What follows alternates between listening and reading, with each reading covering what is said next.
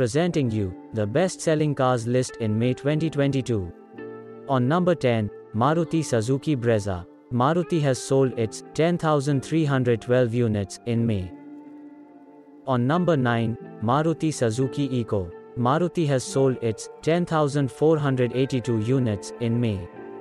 On number 8, Creta from Hyundai. Hyundai has sold its 10,973 units in May.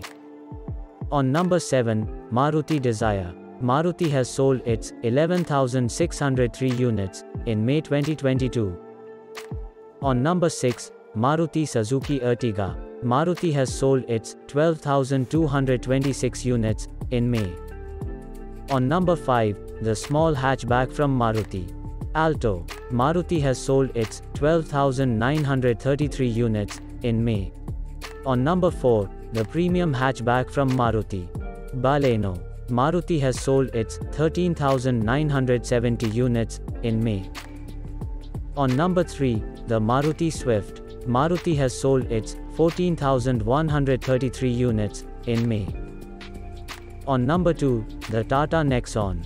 Tata has sold its 14,614 units in May. Nexon is selling aggressively in the last few months and secured this position. And on number 1, the Maruti Suzuki WagonR. Maruti has sold its 16,814 units in May. The WagonR has remained the top selling car for the last few months in a row.